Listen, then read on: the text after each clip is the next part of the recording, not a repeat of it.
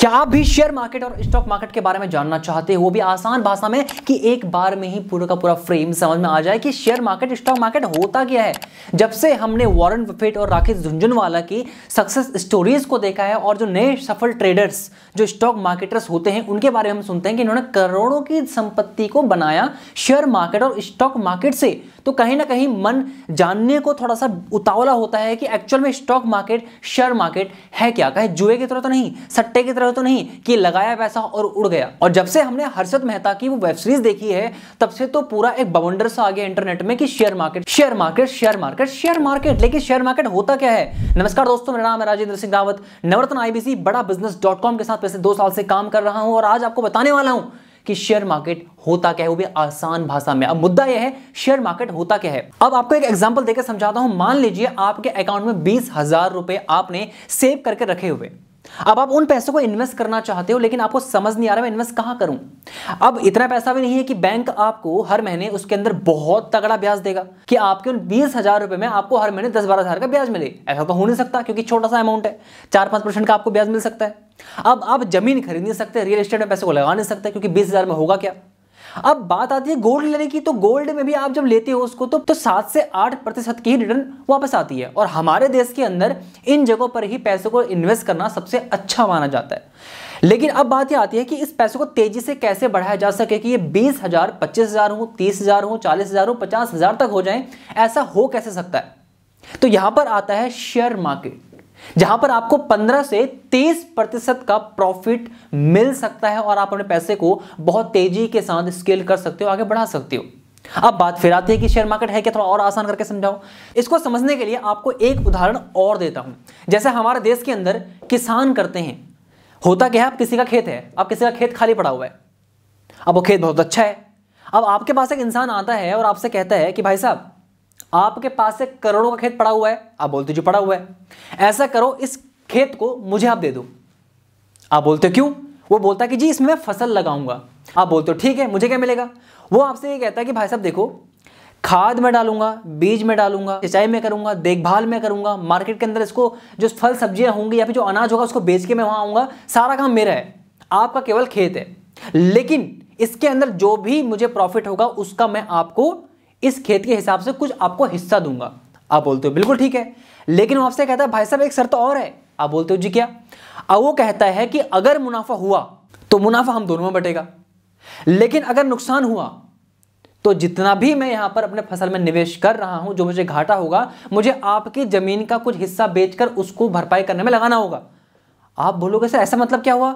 यही share market है। Share market के अंदर आप किसी बड़ी कंपनी के या फिर किसी कंपनी के शेयर यानी कि हिस्सेदारी खरीदते हो। कंपनी ये कहती है कि इसके अंदर जो भी आप पैसा निवेश करोगे, अच्छी बात है, आप हमारी कंपनी में निवेश करो। सेल्स हमारी मार्केटिंग हमारी प्रोडक्ट हमारा टीम हमारी, सब कुछ हमारा। और अगर कंपनी आगे बढ़ी तो हो सकता है आपके वो बीस हज़ार, तीस हो जाए, चालीस हो जाए, पचास हज़ार और दो लाख भी हो जाए। ज़रूरी नहीं है कि आपके वो पैसे दो लाख नहीं हो सकते। कंपनी आगे बढ़ेगी तो आपका पैसा अपने आप बढ़ेगा। लेकिन अगर नुकसान हुआ भाई साहब तो इस नुकसान को आपको भी झेलना पड़ेगा। आप जो पैसा बीस हज़ार रुपए इन्वेस्ट कर रहे हैं, हो सकता है वो पंद्रह रह जाए, दस रह जाए या फिर जर्सी खत्म हो जाए। लेकिन शेयर मार्केट के अंदर एक सबसे अच्छी बात यह होती है कि यहाँ पर आप अपने रिस्क मैनेजमेंट को सेट कर सकते हो। जैसे आपका खेत है, आपने अपने खेत को किसी को दे दिया। अब वो कह रहा है कि भाई वैसे फ़सल लगाऊँगा। फ़सल होगी तो मुनाफा दोनों का होगा और फ़सल नहीं हुई तो इसमें नुकसान दोनों का होगा और मुझे आपके कुछ प्रतिशत यानी खेत के कुछ हिस्से को मुझे बेचना पड़ेगा। तो आप बोलते हो, ठीक है भाई साहब, आप मेरा खेत लो, इसमें फ़सल लगाओ, सब कुछ करो, मैं अपने खेत को देने को तैयार हूँ। लेकिन अगर नुकसान होगा तो मैं केवल अपने खेत को पाँच प्रतिशत ही हिस्सा में बेचने दूँगा, इससे ज़्यादा मैं नहीं बेचने दूँगा। तो आप इसको रिस्क को मैनेज कर लेते हो कि भैया मैं पाँच प्रतिशत से ज़्यादा रिस्क नहीं झेलूँगा। करना है करो, नहीं करना है मत करो। तो आप अपने जब स्टॉक मार्केट शेयर मार्केट जब आप पैसा लगाते हो तो जो भी आप बीस हज़ार रुपये अपने लगा रहे हो या फिर दो लाख लगा रहे हो, आपने कहा कि भाई साहब, मेरे बीस हज़ार रुपये लग गए हैं। अब इसमें मैं केवल रिस्क को पाँच हज़ार ही झेल सकता हूँ, पाँच हज़ार का नुकसान मैं झेल पाऊँगा, लेकिन बाकी का जो पैसा होगा, उस पैसे को दाव पे मैं नहीं लगाना चाहता।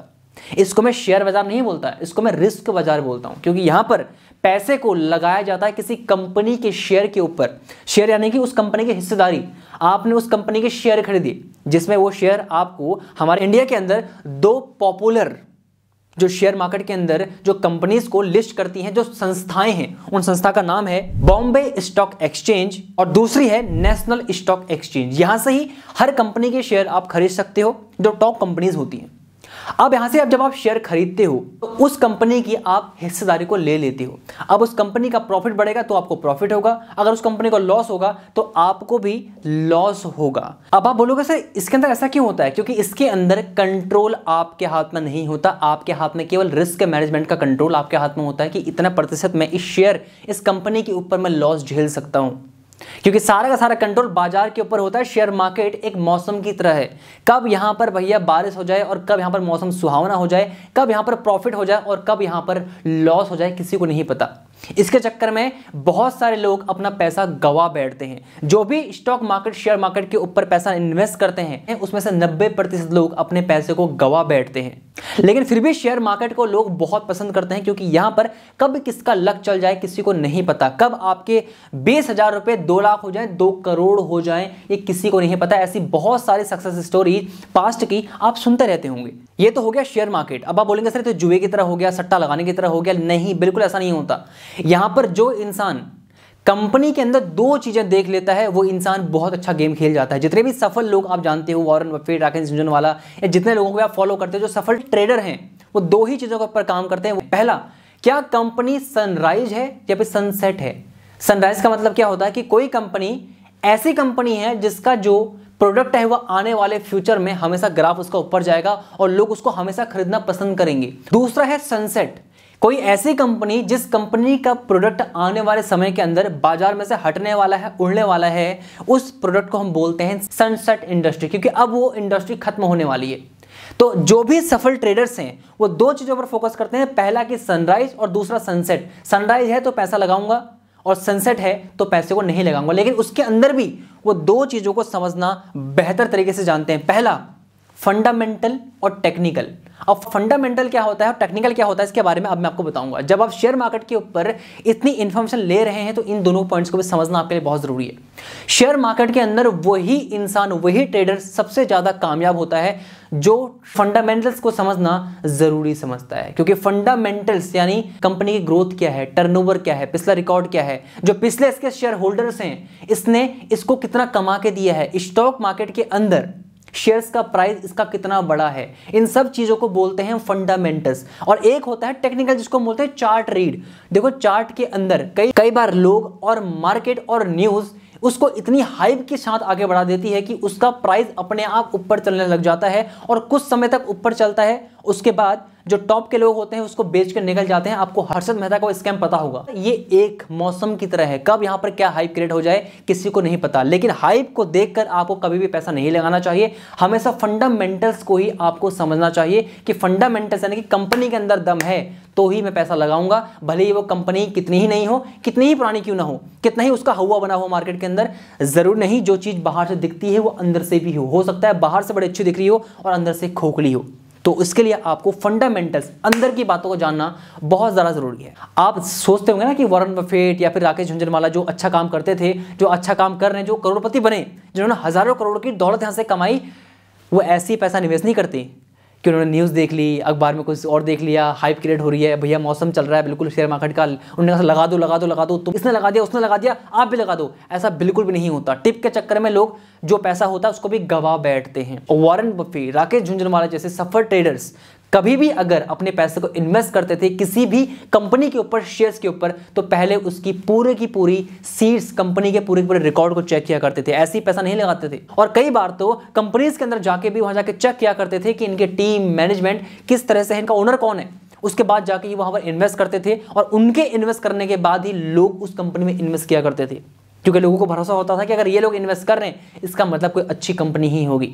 शेयर मार्केट के अंदर पैसा इन्वेस्ट करने से पहले आपको थोड़े थोड़े पैसे से निवेश करना होगा। उतना पैसा जितना आप लॉस झेल सकते हैं, जितना आप कवर कर सकते हैं। ऐसा नहीं कि आपने जितना जॉब से कमाया, उस पैसे को आपने लगा दिया और पैसा अगले दिन ही खत्म हो गया। उस पैसे को लगाइए, पाँच प्रतिशत अपनी इनकम का, दस प्रतिशत जो अगर चला भी गया लॉस भी हो गया तो आपको गम ना हो। क्योंकि उससे आप कुछ ना कुछ सीखते रहोगे थोड़ा थोड़ा पैसा निवेश करोगे तो आप एक बेहतर एक्सपीरियंस ले पाओगे और आप फंडामेंटल्स को और टेक्निकल चार्ट को पढ़ना भी सीख जाओगे। लेकिन अगर आपने बिना प्रैक्टिस किए समुद्र में कूद मार दी तो आपका डूबना तय है, क्योंकि शेयर मार्केट एक समुद्र की तरह है। बड़ी बड़ी शाक मछलियाँ, वो आपको तबाह कर सकती है, वो आपको खा सकती है। इसलिए हमेशा थोड़े थोड़े पैसे से ही अपनी शेयर मार्केट की जर्नी को स्टार्ट करो, क्योंकि पहले आप स्विमिंग पूल में तैरना सीखो, उसके बाद जाकर समुद्र में कूद मारो। थोड़ा थोड़ा पैसा लगाओगे, समझ में आ जाएगा कि क्या होता है, क्या नहीं होता। जितना पैसा आप लूज कर सकते हो, उतने पैसे को ही आप अगर इन्वेस्ट करते हो शेयर मार्केट के अंदर तो आप एक अच्छा आर आने वाले फ्यूचर के अंदर कमा सकते हो, क्योंकि आप इन चीज़ों को फॉलो करते हो। अब इन बातों के बाद आपको कुछ चीज़ों का और ध्यान रखना है शेयर मार्केट के अंदर। जब भी आप शेयर मार्केट की जर्नी स्टार्ट करोगे या कर रहे हो तो आपके पास एक डीमेट अकाउंट होना बहुत ज़्यादा ज़रूरी है, जो हमारे सेविंग अकाउंट की तरह ही परफॉर्म करता है। इसके अंदर आप कंपनी की शेयर खरीदते हो, उसको बेच सकते हो, जो भी यहाँ से फंड आएगा, जो भी पैसा आएगा, वो सारा का सारा लेन देन आपका डीमेट अकाउंट से ही होगा, और जो प्रॉफिट आएगा, उसको आप अपने सेविंग अकाउंट में या फिर अपने बैंक अकाउंट में ट्रांसफ़र कर सकते हो। तो एक डीमेट अकाउंट अच्छा या फिर आप किसी अगर एजेंट से बात कर रहे हो तो उसके साथ अच्छा तालमेल बिठाकर एक डीमेट अकाउंट को आपको खोलना बहुत ज़्यादा ज़रूरी है। उसके बाद, लेकिन बिना फंडामेंटल और बिना टेक्निकल, यानी कि चार्ट रीड को पढ़ना सीखे बिना, शेयर मार्केट के अंदर अगर आप उतरोगे तो आपको 110 परसेंट लॉस होने की संभावना ज़्यादा हो जाती है। किसी के हवा हवाई की बातों में आके आप शेयर मार्केट के ऊपर ऐसे निवेश मत करना, क्योंकि बहुत सारे लोगों ने यहाँ पर अपना बहुत सारा पैसा गवाया भी है। ऐसा नहीं कि आपने अपना घर, बाइक, ज़मीन सब बेच बाच के आपने सारा पैसा पकड़ा और शेयर मार्केट के अंदर लगा दिया लालच के चक्कर में, क्योंकि लालच हमेशा ले डूबता है। तो इससे पहले ही आप फंडामेंटल्स और टेक्निकल चीज़ों को सीखने के लिए आप हमारे दिए गए नंबर पर seven eight three zero six seven two double six seven पर कॉल करके आप फंडामेंटल और टेक्निकल इन दोनों प्रोग्राम्स के बारे में आपको डॉक्टर विवेक बिंद्रा जी, यानी कि बड़ा बिज़नेस के अंदर जो हमारे प्रोग्राम्स हैं, उसको लेकर आपको फंडामेंटल्स और टेक्निकल इन दोनों प्रोग्राम्स को आपको लेना चाहिए, जिससे आप शेयर मार्केट के अंदर बहुत अच्छा खासा पैसा आप बना सकते हो इन चीज़ों को सीखने के बाद। लेकिन इन चीज़ों को सीखे बिना पैसा निवेश मत करना, मैंने पहले सीखा उसके बाद मैंने निवेश करना स्टार्ट किया और तो इन चीज़ों को सीखने के लिए दिए गए नंबर पर कॉल करके पता लगा सकते हो seven eight three zero six seven two double six seven अगर आप आईवीसी के बारे में जानना चाहते हो कि आईवीसी से पैसे कैसे कमाए जाते हैं, बड़ा बिज़नेस की माइक्रो फ्रेंचाइजी लेकर तो उसका लिंक नीचे डिस्क्रिप्शन में है, उसको जाके भी आप एक बार वॉच ज़रूर कर सकते हो। मिलते हैं आपसे बहुत जल्द। इस शेयर मार्केट के ऊपर वीडियो आपको कैसे लगी कि हेल्पफुल रही या नहीं रही, इसके बारे में आप मुझे कमेंट बॉक्स में ज़रूर बताना। मिलते हैं आपसे बहुत जल्द, तब तक आपका बहुत बहुत धन्यवाद।